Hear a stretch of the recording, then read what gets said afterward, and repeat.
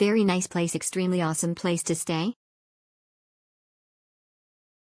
The heater was not working the hotel is next to a large shopping mall. The room was spacious and clean. The heater was not working and the cold air kept blowing out.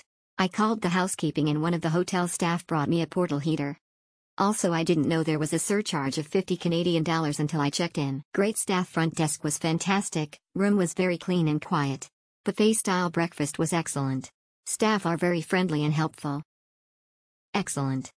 COVID made a difference as to what amenities were available, none, but the hotel is in a great location for what we needed. The staff was friendly and service was excellent. Good location great. Good all-round hotel good clean and comfortable hotel. Only downside is distance from center of town.